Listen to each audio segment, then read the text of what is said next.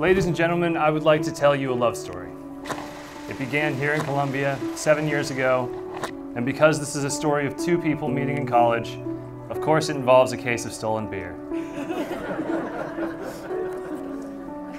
they met a week after they almost encountered one another at a party, a party at which Hayley was robbed.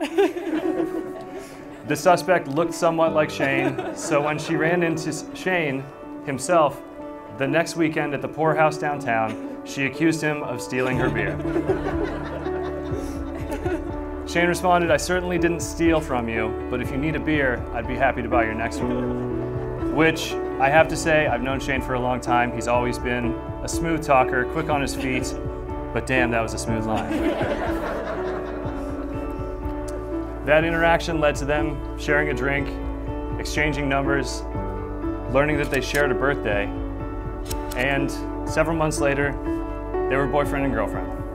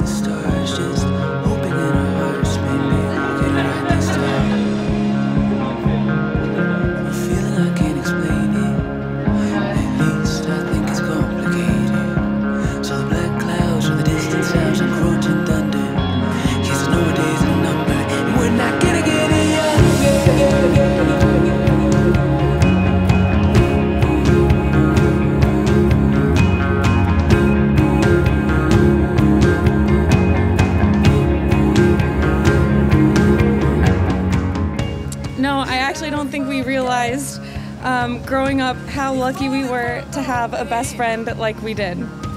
We had many, many long talks sitting in Hayley's car, chatting about life and our futures, and Hayley was always who I knew I could tell anything to. So these chats we would have.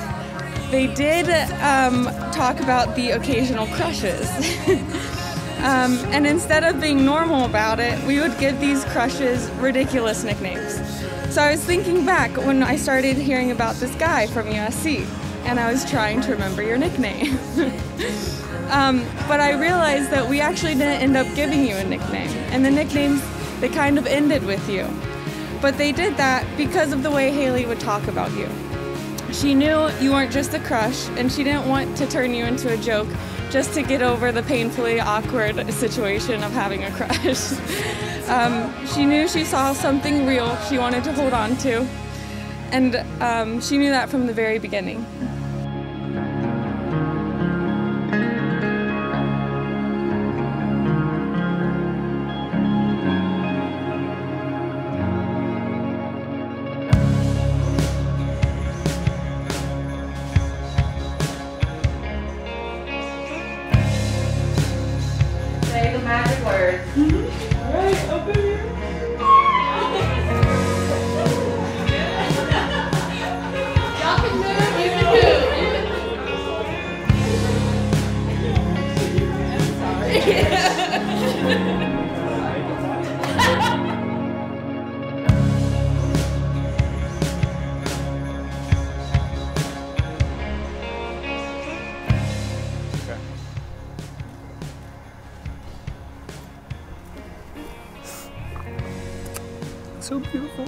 Thanks. You look so good.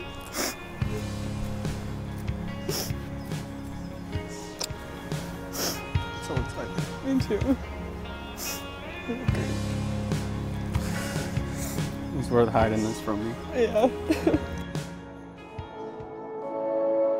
Welcome everyone to the historic Lace House on this beautiful day that turned out to not be that chilly. So we're all very thankful for that. We're all gathered here to celebrate the union of two of my best friends, Shane and Hayley, in the city where they found each other.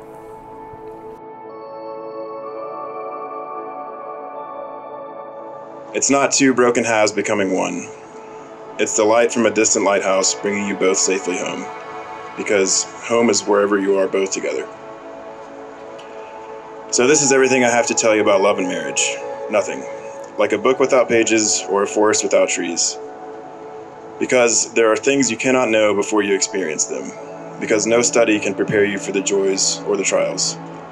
Because nobody else's love, nobody else's marriage is like yours.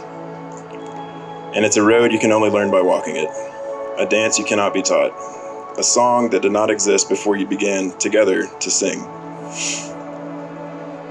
And because in the darkness you will reach out a hand, not knowing for certain if someone else is even there, and your hands will meet, and neither of you will ever need to be alone again. And that's all I know about love. Love is watchful, sleeping it does not slumber, wearied it is not tired, pressed it is not strained, alarmed it is not confused, but like a living flame, a burning torch, it forces its way upward and passes unharmed through every obstacle. If everyone would please stand.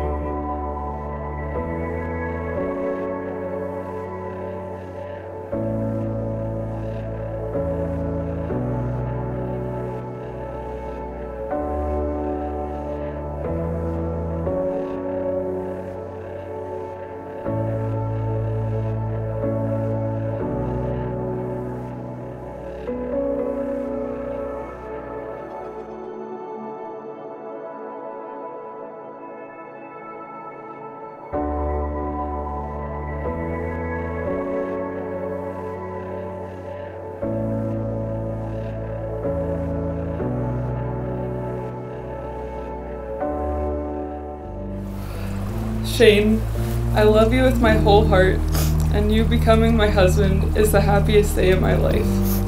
From the moment we were both born on that same day 28 years ago, neither of us has walked a single day on this earth without the other one in it. Once our paths led us to each other, we have been together every day since, and will be now, forever and always, till death do us part. Shane, I vow to always love the laugh that lights up your whole face that I can't help but laugh with. I vow to stand by your side through life's highs and lows and to always be your biggest cheerleader to help you achieve your dreams however I can. I vow to always be loyal, always earn your trust, and always cherish you. I promise to never stop writing you love letters and slipping notes in your lunchbox.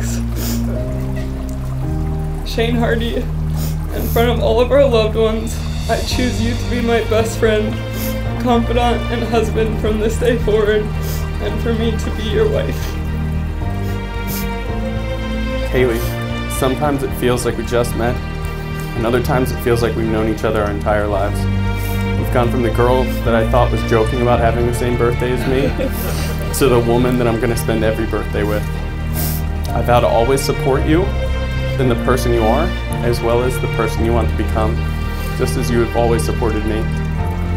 I vow to keep building pillow forts on the weekends when we don't feel like doing anything, and to keep buying you plants even though you forget to water them. But most of all, I vow to be by your side through the good times and the bad, and to love you for the rest of our lives. I don't know what the rest of our lives will hold, but I know I'm going to spend it with you. I love you, Hayley Hawk. Shane, by presenting Hayley with this ring, do you swear to cherish, love, and support her till death do you part? I do. And Hayley, by presenting Shane with this ring, do you swear to cherish, love, and support him till death do you part? Now, by the power vested in me by the state of South Carolina, I pronounce you husband and wife. You may now kiss the bride.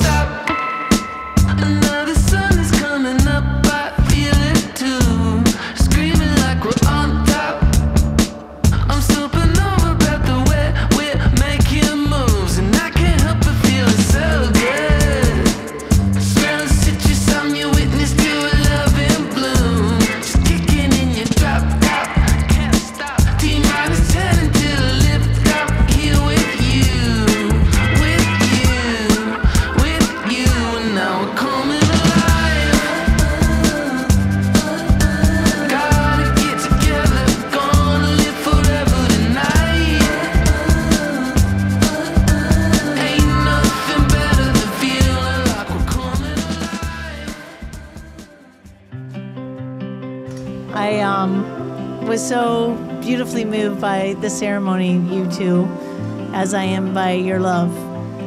As a mother, I am just amazed at my happiness. I'm like giddy and overjoyed and jumping up and down because I guess that's what love is is if your children are happy, that's the happiest you could be. Well, Hayley, I'm so proud of you, I love you so much. You're the most beautiful, intelligent, and joyful lady I've ever known. And you just blossomed into an amazing person. I'm so proud of you. You've always had an adventurous spirit. After all, you came into this world at 10 pounds 4 ounces. and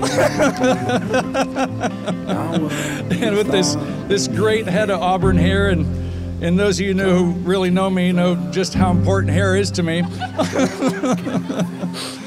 and following her following her delivery, the first time I held you in, in my arms, I thought of this day. and, I, and I thought, I just need you for a while, you know? But it's also great, you know, when it passed your hand off to Shane today, that was pretty awesome because I know you're going to be well taken care of and loved. I remember this one day that Shane and I we were feeding fish off the end of the dock like we generally do, and Shane saw this beautiful fish, like just I'd never seen anything like it. And he goes and he grabs a net, not a rod and a hook like I would have done, but a net. And he lands the most beautiful fish. And at nine years old, I wish I could see the foreshadowing that he would land the most beautiful girl out there. And I just love you guys so much, and I can't wait for you to be my sister.